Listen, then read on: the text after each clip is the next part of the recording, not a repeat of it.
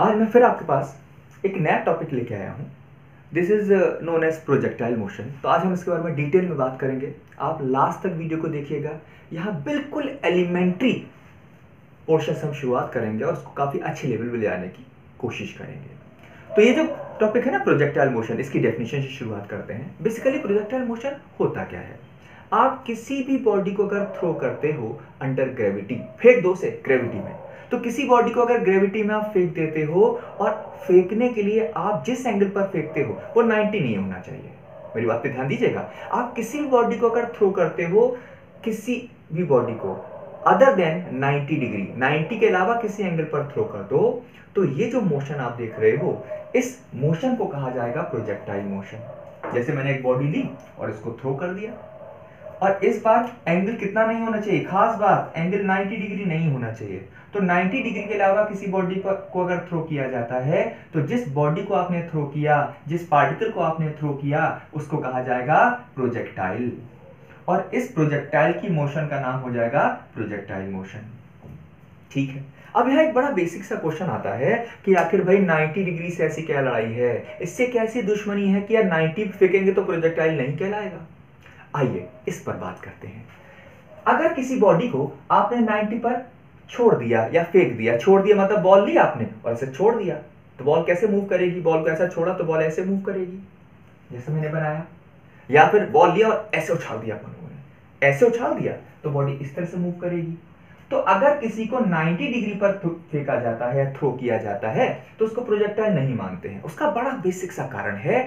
Basically ये जो आप वर्ड देख रहे हो ना, प्रोजेक्टाइल मोशन ये basically it is a motion in two dimension हम किसी पार्टिकल की टू डायमेंशनल मोशन को प्रोजेक्टाइल कहते हैं। और अगर आप उसको 90 डिग्री पर थ्रो कर रहे हो तो 90 डिग्री पर थ्रो करने पर उसकी मोशन टू डायमेंशन नहीं होगी, उसकी मोशन वन डायमेंशन होगी। और क्योंकि वो वन डायमेंशन है, इसलिए उसको प्रोजेक्टाइल मोशन में शामिल नहीं किया जाता है। अब आते हैं प्रोजेक्टाइल की कुछ बेसिक पॉइंट्स पर।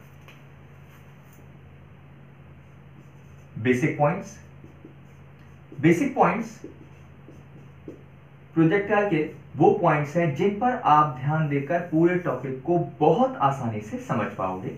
लेकिन थोड़ा इस पर ध्यान देना है, बहुत सिंपल सी बात है।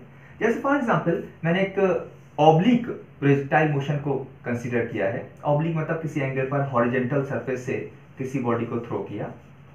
और ये मान लेते हैं ये एक्स एक्सेस होगी अपने पास, ये वाई एक्सिस यहाँ पर एक पार्टिकल को। ये अपना क्या होगा प्रोजेक्टाइल। अभी समझाया था जैसे मैंने आपको।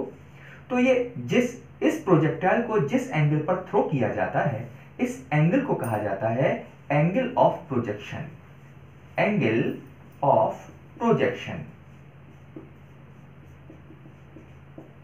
अच्छा जिस स्पीड से इसको थ्रो किया गया, इसको कहा जाता है वेलोसिटी ऑफ़ प्रोजेक्शन यू को क्या कहा जाएगा? Velocity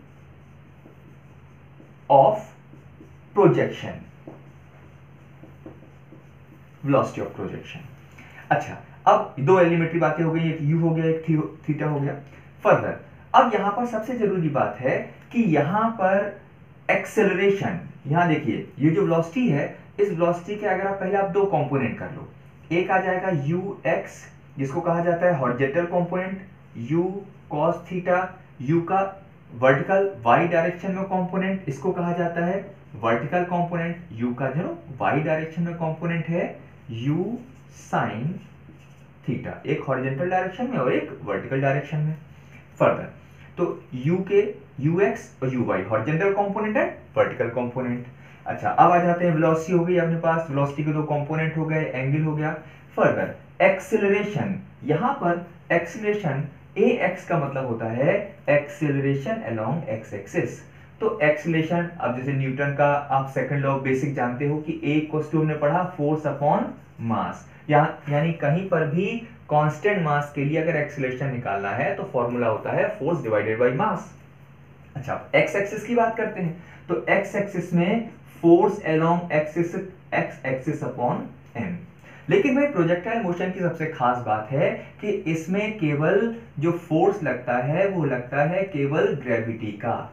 ओनली ग्रेविटी ग्रेविटी यानी जहाँ कहीं भी बॉडी होगी, उसको केवल केवल कौन सा फोर्स लगेगा? उस पर लगेगा ग्रेविटी का फोर्स लगेगा। हर जगह केवल कौन सा फोर्स लगेगा? ग्रेविटी का।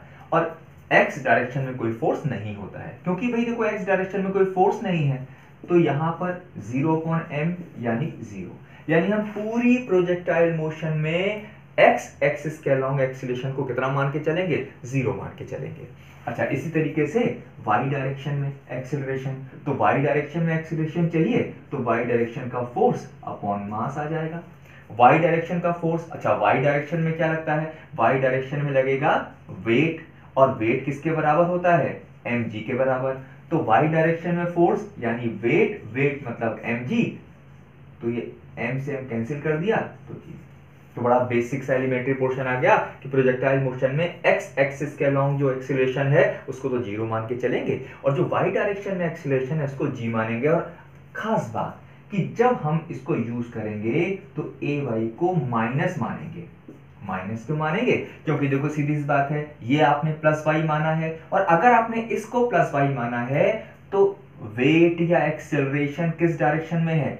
नेगेटिव वाई डायरेक्शन में है तो हम जब इसको यूज़ करेंगे तो माइनस जी यूज़ करेंगे। और सबसे एलिमेंट्री बात, भाई देखो प्रोजेक्टाइल मोशन टू डायमेंशन है। टू डायमेंशन क्यों है? क्योंकि इसकी वेलोसिटी के दो कंपोनेंट हो गए। यूएक्स क्या करेगा? यूएक्स इसको एक्स डायरेक्शन में लेके चलेगा। यू वाई वाई डायरेक्शन वाला कंपोनेंट पार्टिकल कहाँ लेके जाएगा? ऊपर लेके जाएगा। तो पार्टिकल एक साथ दो काम कर रहा है, देखो एक्स में भी बढ़ेगा और वाई में भी बढ़ेगा। लेकिन सबसे इंपॉर्टेंट है, यहाँ पर ध्यान देना कि जब पार्टिकल अपने सबसे हाईएस्ट पॉइंट पर, सबसे ऊँचे वाले पॉइंट पर पहुंचेगा तो यहाँ पर पार्टिकल आगे तो बढ़ेगा, लेकिन ऊपर नहीं जाएगा। देखो यहाँ ध्यान देना, जो सबसे हाईएस्ट पॉइंट है, यहाँ पार्टिकल आगे तो जाएगा, लेकिन इससे ऊपर नहीं जा रहा है। और ऊपर ले जाने का काम किसका था? वाई कॉम्पोनेंट ऑफ़ वेलोसिटी का। पार्टिकल यहाँ ऊपर नहीं जा रहा है, यानी हाईएस्ट पॉइंट पर वेलोसिटी का वाई कंपोनेंट वर्टिकल कंपोनेंट कितना हो जाता है? ज़ीरो ये बहुत इंपॉर्टेंट पॉइंट है। इससे रिलेटेड जो डेरिवेशन है, उनमें हम इसका बेसिकली यूज़ करेंगे। कि जब पार्टिकल हाईएस्ट पॉइंट पर होगा तो हाईएस्ट पॉइंट पर पार्टिकल पार्टिकल की वेलोसिटी ज़ीरो नहीं होगी। पार्टिकल चल रहा है, लेकिन पार्टिकल का कौन सा कंपोनेंट ज़ीरो होगा? वाई कंपोनेंट वर्टिकल कंपोनेंट यहाँ पर कितना माना जाएगा? ज़ीरो अब हम बात करते हैं प्रोजेक्टाइल मोशन में टाइम ऑफ़ फ़्लाइट की। बेसिकली टाइम ऑफ़ फ़्लाइट होता क्या है? जैसे फॉर एग्जांपल एक मैंने पार्टिकल लिया और उसको थ्रो किया। तो पार्टिकल यहाँ से थ्रो किया गया, ये वापस आते पूरी मोशन को कंप्लीट करके जब ग्राउंड पर वापस आता है। यानी जहाँ से थ्रो किया, जहाँ से मोशन शुरू हुई, पूरे टाइम ये फ़्लाइट करता रहा और जब फाइनली ग्राउंड से टकराया तो यहाँ से यहाँ तक का टोटल इसका मोशन का जो ड्यूरेशन है, उस ड्यूरेशन को कहा जाता है टाइम ऑफ़ फ़्लाइट बेसिकली पूरे टाइम उड़ते रहने का समय, ऐसा बोल सकते हैं। अब टाइम ऑफ़ फ़्लाइट निकालेंगे कैसे?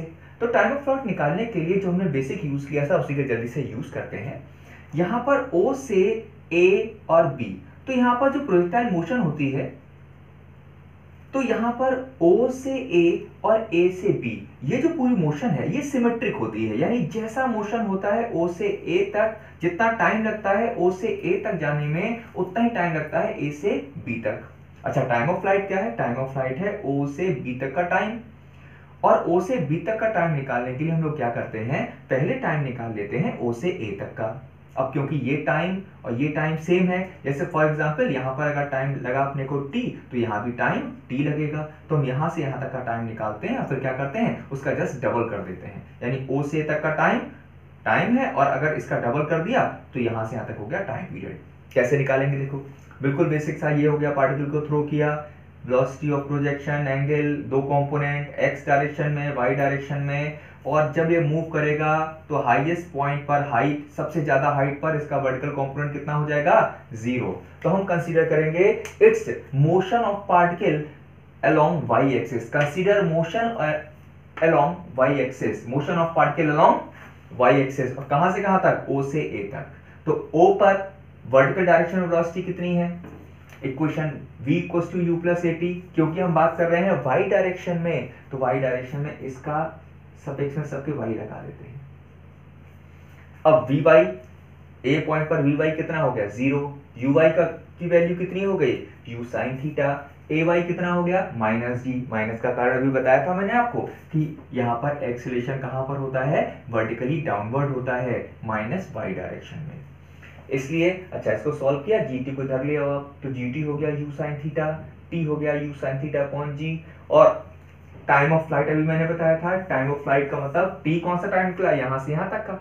और टाइम ऑफ़ फ़्लाइट का मतलब हो जाता है जैसे इसका डबल तो टी निकला अपने पास, u sin theta upon g तो टाइम ऑफ़ फ़्लाइट इसका डबल हो जाएगा। डबल का मतलब t equals to 2u sin theta upon g तो this is the time of flight for this type of projectile motion अब हम इसके सेकंड टॉपिक पे बात करेंगे। इसका नाम है मैक्सिमम हाइट देखो मैक्सिमम हाइट होता क्या है? जैसे आपने किसी प्रोजेक्टाइल में प्रोजेक्टाइल को थ्रो किया तो ये जो बॉडी मूव करेगी, एक पर्टिकुलर पाथ पर मूव करेगी तो ये अपने पाथ पर, जहाँ पर सबसे ज़्यादा हाइट पर होती है तो इस हाइट को कहा जाता है मैक्सिमम हाइट लिटरल मीनिंग है। मैक्सिमम हाइट का मतलब हो गया सबसे ऊँचा पॉइंट तो इस हाइट को कहा जाता है मैक्सिमम हाइट और इसका एक और नाम भी है, इसको वर्टिकल रेंज भी कहा जाता है। रेंज भी दो होती है। एक वर्टिकल और एक हॉरिजेंटल हॉरिजेंटल रेंज की बात हम नेक्स्ट टॉपिक में भी करेंगे। ये ये मैक्सिमम हाइट कहलाएगा और मैक्सिमम हाइट या इसका दूसरा नाम है वर्टिकल रेंज तो देखिए, अब हम सीखेंगे वर्टिकल रेंज या मैक्सिमम हाइट कैसे निकालते हैं।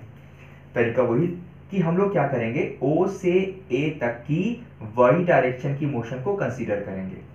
वाई डायरेक्शन की मोशन कंसिडर करते हैं। यानी कहाँ से कहाँ तक? ओ से ए तक। क्योंकि ए पर पॉइंट कैसा है? अपनी सबसे ज़्यादा हाइट पर है मैक्सिमम हाइट पर है। तो consider motion of particle along y axis और कहाँ से कहाँ? फ्रॉम ओ टू ए अब यहाँ पर यूज़ करेंगे हम लोग third equation of motion third equation of motion सबको मालूम है. V square equals to u square plus two a s अच्छा हम बात किसकी कर रहे हैं? हम बात कर रहे हैं y डायरेक्शन में मोशन की. तो सबके सफिक्स में मैंने y लगा दिया. V की जगह v y u y a और s. अच्छा वी वाई अब a पॉइंट पर वी वाई यानी वर्टिकल कंपोनेंट कितना होता है? ज़ीरो हो जाता है.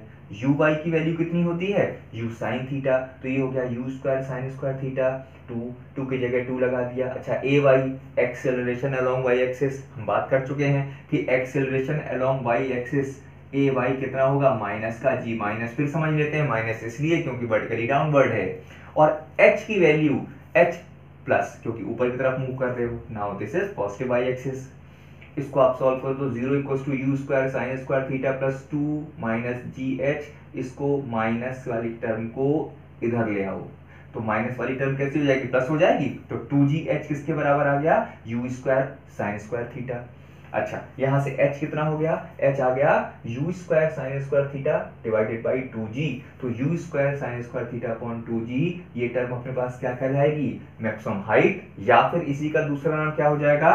वर्टिकल रेंज वर्टिकल रेंज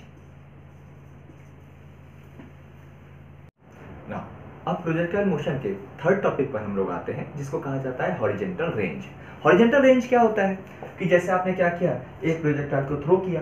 तो जब थ्रो किया तो मैक्सिमम जितना हॉरिजेंटल डिस्टेंस कवर करता है, उस हॉरिजेंटल डिस्टेंस को कहा जाता है रेंज जैसे पार्टिकल यहाँ से आपने थ्रो किया और थ्रो किया और थ्रो करते करते पार्टिकल फ़्लाइट करके यहाँ पर गिरा। तो मैक्सिमम कितना हॉरिजॉन्टल डिस्टेंस कवर किया? उसने ओ से शुरू किया था और मैक्सिमम कहाँ तक गया? बी तक गया। तो O से B तक का जो हॉरिजेंटल डिस्टेंस है, इस डिस्टेंस को कहा जाता है हॉरिजेंटल रेंज रेंज का मतलब है x या हॉरिजेंटल डायरेक्शन में ट्रेवल किया गया मैक्सिमम डिस्टेंस इसको कैसे सॉल्व करेंगे? क्योंकि इस बार हमें बात करनी है x एक्सिस में तो इस बार हम लिखेंगे मोशन या हम कंसिडर करेंगे मोशन अलोंग x एक्सिस और कहाँ से कहाँ तक? O से B तक। अच्छा O से B तक आप ध्यान रखोगे कि यहाँ से O से B तक अगर चलते हैं तो टाइम कितना कहलाएगा? ये टाइम हमने सीखा था, O से B तक का जो टाइम है, वो है टाइम ऑफ़ फ़्लाइट ठीक है? तो consider motion along x axis और कहाँ से कहाँ? फ्रॉम ओ टू बी आप जानते हो second equation of motion s equals to u t plus half a t square s equals to u t plus half it square लेकिन हम बात कर रहे हैं एक्स एक्सिस में मोशन की तो सबके सफिक्स में मैंने एक्स लगा दिया। ठीक है? अच्छा एस एक्स का मतलब हो जाएगा कि डिस्टेंस कितनी हो गई? आर हो गई। यू एक्स स्मॉल टी की जगह टाइम ऑफ़ फ़्लाइट हाफ़ अच्छा हम लोग शुरू में बिल्कुल बात कर चुके थे, इसको ध्यान दीजिएगा। इस टॉपिक के नीचे लेवल पर कि प्रोजेक्टाइल मोशन में एक्स डायरेक्शन में कोई फोर्स नहीं होता है, इसलिए एक्स डायरेक्शन में कोई एक्सिलरेशन भी नहीं होगा। तो एक्स की वैल्यू कितनी लगा देंगे? ज़ीरो लगा देंगे। तो ये टर्म तो पूरी कैंसिल हो गई अपने पास, ये टर्म कैंसिल आउट हो गई। तो यहाँ पर आर किसके बराबर आ गया? U x into t u x मतलब u cos theta u x मतलब क्या पढ़ा था हमने उसके दो कंपोनेंट पढ़े थे आप लोगों ने? एक यू एक्स पढ़ा था और एक क्या पढ़ा था हम लोगों ने? एक यू वाई पढ़ा था। यू एक्स की वैल्यू कितनी थी? यू कॉस थीटा तो यू एक्स हो गया यू कॉस थीटा और टाइम ऑफ़ फ़्लाइट क्या पढ़ा था? टू यू साइन थीटा कॉन जी तो टाइम ऑफ़ फ़्लाइट लगा दिया। अब इस कंडीशन में u और u को मल्टीप्लाई करा। तो u स्क्वायर हो गया और क्या क्या बचा? देखो, ध्यान से देखो। u अलग हटा दिया, ये वाला u अलग हटा दिया। क्या बचा? Two sine theta cos theta two sine theta cos theta और two sine theta cos theta किसका फॉर्मूला होता है? ये होता है साइन टू थीटा। तो यू स्क्वायर अपॉन जी और यू स्क्वायर के साथ ये जो ब्रैकेट है, ये बन गई साइन टू थीटा। तो रेंज का फॉर्मूला आ गया u square sine two theta upon g तो इस वीडियो में मैंने आपको तीन चीज़ें बताई। बेस सबसे पहले क्या सीखा हम लोगों ने? सबसे पहले सीखा एलिमेंट्री पोर्शन उसके बाद इसके बेसिक सीखे और आपको मैंने तीन पोर्शन बताए। Time of flight maximum height and range ठीक है?